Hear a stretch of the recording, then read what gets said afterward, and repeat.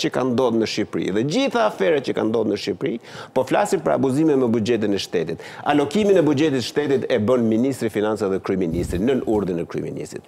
Dhe, në asnjërën prej tyre, Edi Rama nuk është thirr as për të dëshmu, as në rastin e Ilir Metës që i thonë, ke iniciu një ligj i cili është miratuar me votat e Partisë Socialiste, po Edi Rama edhe i thonë që ti ke, Monika Kryemadhi ka komunikuar me Edi Ramën, po Edi Rama nuk e thrasin për ta pyet, ore çfarë ka komunikuar me ty.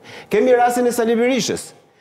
Akuzohet Sali Berisha për pronat e dhëndrrit vet, ndërkohë që ndrrimin e destinacionit të objektit nuk e ka bërë Sali Berisha, po e ka bërë Edi Rama.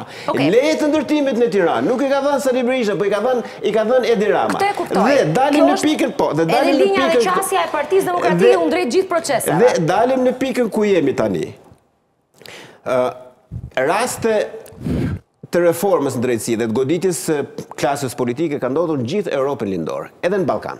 Ka ndodhur në Kroaci, ka ndodhur në Mal të Zi, ka ndodhur në Maqedoni, në Serbi s'ka ndodhur se është e sapë tjetër. Ermali mund na sjelli pak më vonë raste të tjera me kuptu sa të ngjashëm jemi. Në Bullgari, në tërësi, në tërësi ka pas probleme të mëdha edhe në Moldavi kohët e fundit me me Gjykatën Kushtetuese apo të Lartën se donte të përfshihej në pushtetet në ndarjen e pushtetit, dhe çfarë shofim? Në të gjitha këto raste, ku më shumë, ku më pak, ku më pak, kemi pas prokurorinë dhe gjykatën që është munduar të influencojë në balancat e partive politike. Rasti, rasti i Shqipërisë është rasti më ekstrem. Pse? Reforma në drejtësi ka filluar në vitin 2016. SPAK-u është ngrit në vitin dy mijë e nëntëmbëdhjetë. SPAK-u përveç dosjeve që janë adresuar saj, pra që janë ngrit fillimisht, ka marrë dhe ka mbartur të gjitha dosjet e Prokurorisë së Posaçme që ka qenë në krimeve të rënda. Prokurorisë së krimeve të rënda dhe i ka pas të gjitha ato.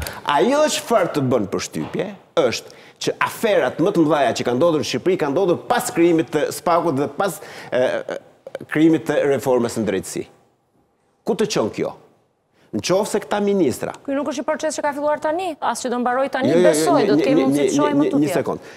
Në qoftë se ty të bëhet reforma në drejtësi, të krijohet SPAK-u, të del Edi Rama thotë SPAK-un e krijum ne, reforma në drejtësi e krijum ne, dhe të gjitha aferat më të mdhaja dhe po t'i mbledhim gjitha bashkë shkojnë miliarda, ka ndodhur pas krijimit SPAK-ut, do thotë që frika aty nuk ekziston. Kush është garancia që ka pas qeveria që frika nuk ekziston? Kush është garancia që kam që kanë pas? Cila është? Garancia që SPAK-u është në funksion të Partisë Socialiste. Okay. E para, dhe e dyta, dhe e dyta, okay. shikoje shikoje trendin. Shikoje trendin. U nis me ministra dhe me deputetë të Partisë Socialiste. Goditje nga SPAK-u. U krijua ajo fryma që SPAK-u po godet qeveri në një e tjetrën. S'ka skenar, thua. Një sekond. Vjet në verë doli Edi Rama në Konventin e Partisë Socialiste dhe i bëri thirrje SPAK-ut, ti po merresh vetëm me ne, vetëm me ne, vetëm me ne, ku i ke këta të opozitës? Dhe çfarë ndodhi?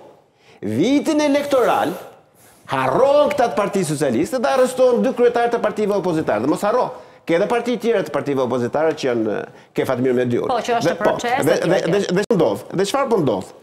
Jemi në situatën kur i lshohet urdhër arresti Këtij Erion Veliajt i hiqet urdhër arresti Erion Veliajt. Atij dhe një, atij dhe njëmbëdhjetë të tjerë. I merret pasaporta Erion Veliajt, i kthehet pasaporta Erion Veliajt. Se janë pazara që bëjnë me një, që bëjnë pazare me njëri tjetrin. Dhe kemi tani, gjashtë muaj para zgjedhjeve të përgjithshme, të gjithë qeverinë e ke në listë që është në spak. Askush nuk merret me ta sepse spaku ka mbaruar punë me qeverinë një herë për herë. I ka arrestuar tre katër tre katër ministra. Kush e di këtë? Si kush e di. Që ka mbaruar punë me qeverinë. Ku është para thënë që ka mbaruar punë me qeverinë? Kështu, ky është leximi i Partisë Demokratike. E kuptoj. Po sigurisht, sigurisht dhe për dal, për dal te ajo që u tha më për për dal te mhm. ajo që u tha më përpara, hemoragjia financiare, s'po merrem me lidhjet me krimin, edhe me bandat. Hemoragjia edhe se si bandat caktojnë deputetët. Okej, okay, do do vim edhe tek ajo. Po, hemoragjia financiare, hemoragjia financiare kryhet nga këta që janë sot në këtë listë që thash unë. Këta janë ata që kanë emrin. E ka Edi Rama, e ka Erion Veliaj, e kanë gjithë kta ministra, Belinda Balluku, hemoragjia financiare nuk kryhet nga as nga Sali Berisha dhe as nga Ilir Meta, sepse këta kanë buxhetin. Atëherë çfarë duhet? Logjika, sensi e thotë që Ju çfarë keni bërë do mbani përgjegjësi për ato çfarë keni bërë, por ama unë do ndal hemorragjinë financiare një herë. Qartë. Dhe kemi dhe kemi prioritetet duhet të jenë në këtë logjikë. Dhe kemi tetë miliardë në në në dhjetë vitet e fundit kemi tetë miliardë dollarë fonde publike të abuzuara. Qartë. Të abuzuara.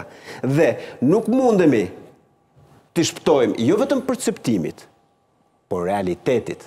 Dhe kush është realiteti? Realiteti është që SPAK-u jo vetëm që është bërë aktor dhe faktor në zgjedhjet të ardhshme, por SPAK-u është mekanizmi i fundit që i ka ngel Edi Ramës, pasi ka dhe bandat. Për të shkatërruar opozitën. Sepse ironia është këtu, se kemi Edi Ramën mes, Njërën anë kemi SPAK-un që ndihmon Edi Ramën dhe në anën tjetër kemi bandat e krimit dhe trafikut të drogës që ndihmojnë Edi Ramën. Okej, qëndrojmë pak këtu. E shohim pak, jo, jo Ermani do ta arrijë.